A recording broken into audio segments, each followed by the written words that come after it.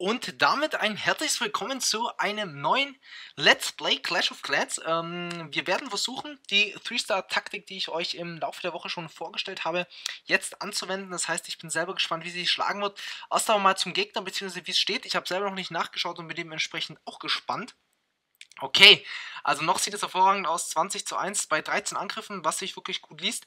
Ihr seht, wir haben es wieder mit Asiaten zu tun, das heißt, man kann vielleicht jetzt hier als aktuellen Stand der Dinger sagen, bei denen ist Nacht, die schlafen noch alle tief und fest und deswegen greift auch keiner an, auch wenn zumindest zu dieser Zeit der Clan War gestartet wurde.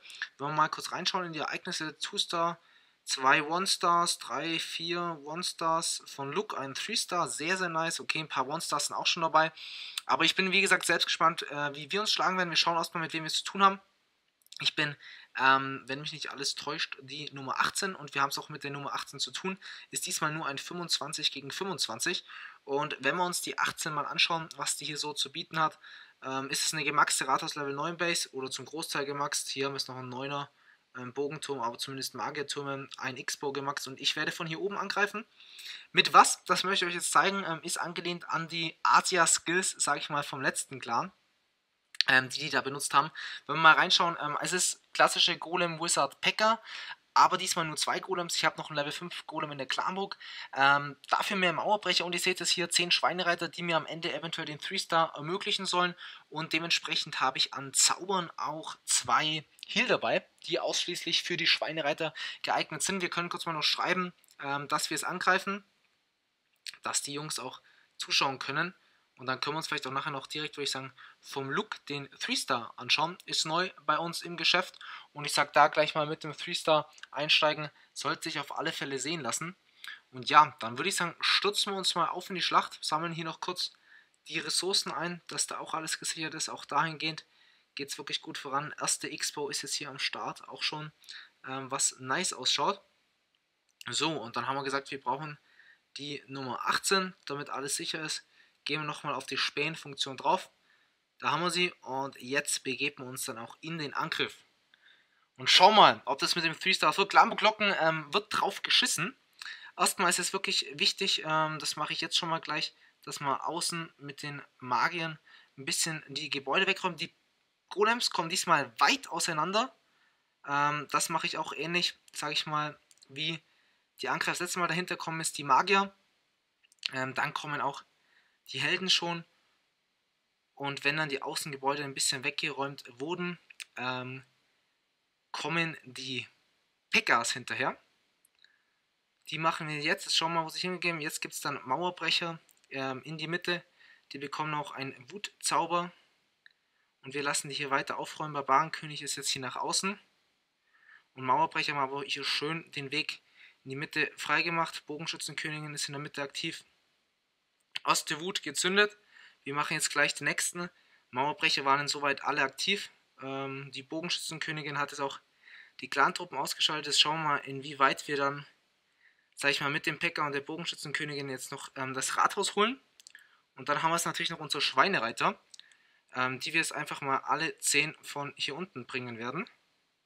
Und die ist auch hier gleich den ersten Heal bekommen. Jetzt schauen wir mal, ob das was mit dem 3-Star wird. Barbarenkönig zünden wir mal jetzt, bevor der down geht. Bogenschützenkönige müssen wir auch im Auge behalten. Und dementsprechend auch den zweiten Heal für unsere Schweinereiter. Die hier drüben sich jetzt austoben, die bekommen hier den nächsten Heal hin, dass sie vor Magierturm geschützt werden.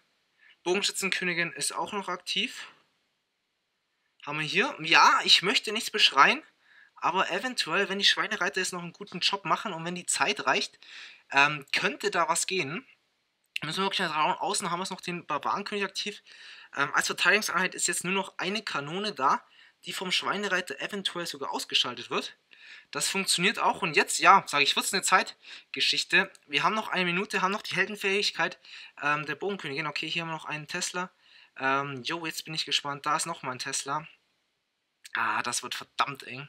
Aber, ja, ich, ich, ich sag mal, es wird nicht klappen. Weil, dass die Bogenschützenkönigin das alleine schafft, äh, würde ich fast ausschließen. Hätte ich jetzt noch ein paar Magier aufgehoben, da war ich vielleicht am Anfang ein bisschen voreilig. Jetzt zünden mal kurz die Bogenschützenkönigin, dass die den schnell ausschaltet. Hätte ich mir ein paar Magier noch aufgehoben, hätten wir da dann vielleicht die Außengebäude schön wegräumen können. Das dahingehend vielleicht ein kleiner Fauxpas. Ähm, was man, sage ich, hätte ich besser machen können. Aber ich würde mal behaupten, so nah war ich schon lange nicht mehr dran. Und an den Taktiken ist was dran. Wir hatten jetzt keinen Jump, wir hatten die Klamburg mehr oder weniger ignoriert, ähm, aber es hat trotzdem recht gut funktioniert, ähm, was das Ausschalten anging. Wir lassen es jetzt einfach mal just for fun zu Ende laufen. Und ja, hier schiebe ich mir den zu selber schon zwei, drei Magier aufgehoben. Hätte man dies hier außen gesetzt, wäre was gegangen. Aber mit den Schweinereitern auf alle Fälle, sage ich mal, eine nette Taktik. Und wenn man es vielleicht noch mit der Bogenschützenkönigin 1 hier holen, dann kriegt man vielleicht noch, okay, nee, die 90 knackt man nicht mehr, aber sind wir mit 88% ausgestiegen, ähm, also Two-Star, wie man es von mir kennt, aber man muss wirklich sagen, es hat sehr, sehr gut funktioniert äh, mit den Schweinereitern, die haben gut ähm, extra was ermöglicht. Und hätte ich jetzt mit zwei, drei Magier aufgehoben, wäre da auch was gegangen, ich denke, dann wäre der 3-Star drin. Und dahingehend würde ich sagen, schauen wir uns auch gleich mal den 3-Star an vom Look, was der da abgezogen hat. Ähm, gegen einen recht gleichstarken, also hat er auch Rathaus Level 9 Base, Okay, er hat es auch sehr, sehr interessant. Ähm, Scheint es dann wirklich drauf zu haben. Zwei Heal, zwei Wood dabei. Und er macht es ähm, mit einer, ja, sage ich mal, Luft-Taktik. Hat zwei Lava-Hunde Level 2 dabei. Hat dann Minions und Balloons dabei. Und hat dann auch noch Schweinereiter dabei. Schauen wir mal, von wo er die Base angreift. Also hätte ich mich ehrlich gesagt nicht getraut. Ähm, gerade da die Luftabwehr doch verhältnismäßig alle weit innen stehen. Er macht jetzt erst die Balloons und macht dann die Lava-Hounds. Ähm, gibt denen jetzt jeweils einen Wut. Heal vermute ich mal schwer, wird er aufheben Nein, nicht für die Schweinereiter, den Asten hat er hier schon gesetzt. Er hat bis jetzt auch noch keine Minions gesetzt und ich hätte nie gedacht, dass das ein 3-Star wird. Aber sag niemals nie.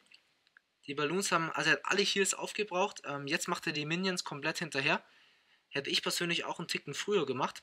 Seine Helden hat er noch gar nicht gesetzt. Die kleinen Lava-Welpen greifen jetzt auch mit an. Und ich vermute mal, er wird jetzt ähm, in den unteren Bereich die Schweinereiter bald setzen, damit die die Luftabwehr ausschalten. Bis jetzt hat es noch nicht gesetzt. Die Minions räumen soweit wirklich ganz gut auf. Jetzt ballert die Luftabwehr langsam. Er hat seine Helden auch immer noch. Bisher noch kein Star und mir wären da wahrscheinlich die Füße schon weich geworden. Beziehungsweise feucht in der Hose. Und die Nervosität wäre gestiegen und gestiegen. Aber er bleibt da cool, macht jetzt in Zweierwellen die Schweinereiter unten ohne Heal. Ähm, halten sie auch aus gegen die beiden Magiertürme und werden ausgeschalten. Vielleicht habe ich auch meine Schweinereiter ein bisschen zu früh Weiß ich nicht. Also könnt ihr ja mal gerne in die Kommentare schreiben, was man hätte besser machen können, dass es bei mir vielleicht auch ein 3-Star geworden wäre. Hier haben wir sogar noch einen Balloon, der in der Clanburg drin war. Und jetzt hat er auch die Helden ähm, hier unten gesetzt. Und wenn wir mal vorspulen, es war dann zeitlich, ja, es war nur noch die Luftabwehr und ein Minenwerfer da. Und der hatte noch bei der Heldenfähigkeiten was dazu kommt. Der hat Barbarenkönig 20, Bogenschützenkönigin auf 15. Die machen natürlich auch schon, sag ich mal, einen schönen Schaden. Und hat sich dann doch, ja, also es war auch knapp, muss man sagen. Es war kein leichter 3-Star, ähm, aber hat soweit funktioniert. Und auch eine ganz interessante Taktik. Und ich würde sagen, ähm, Hut ab natürlich. Ähm, 3-Star immer eine schöne Sache. Mein Angriff war wirklich auch richtig nice. Man muss mal reinschauen. Äh, ja, mein Angriff richtig nice. Ja, geht. Also ich bin zufrieden, aber man kann natürlich immer besser machen. Ein weiterer Halloween Grabstein ist immer noch nicht dazugekommen. Ähm, und wenn wir sonst mal schauen, genau, zweite Expo ist es hier in vier Tagen, 22 Stunden fertig. In einer Stunde 27 ist mein Minion-Werfer ready. Und mein Golem braucht noch 4 Tage, 21 Stunden. Die erste Bombe, die wollte ich euch auch zeigen, habe ich jetzt fertig auf Level 6. Hat aber dahingehend zu einer Level 5 Bombe leider, sage ich mal, optisch identisch. Hier haben wir eine Level 5. Die schaut so aus. Und die Level 6 schaut so aus. Also die schauen wirklich ganz gleich aus. Die erste ist fertig. Die zweite läuft hier oben. Ähm, die hier ist auch schon fertig, also zwei sind fertig. Eine läuft und zwei fehlen noch. Einmal hier und einmal hier. Wenn ich die dann habe, sind die fertig. Dann machen wir eben weiter, sage ich mal, mit den Luftbomben.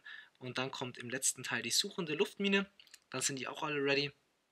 Und Elixier wie immer wird natürlich fleißig, klassisch weiter in die Mauern investiert, wo ich jetzt hier auch schon mal ein bisschen im nächsten Bereich weiterbaue. Jo, ich würde sagen, das war's zum heutigen Video. Ich hoffe natürlich, dass es euch gefallen hat. Wie gesagt, ähm, Anregungen, Base Review, ähm, Epic Fight Vorschläge, alles gerne in die Kommentare und wir sehen uns dann morgen wieder. Macht's gut, bis dann, ciao.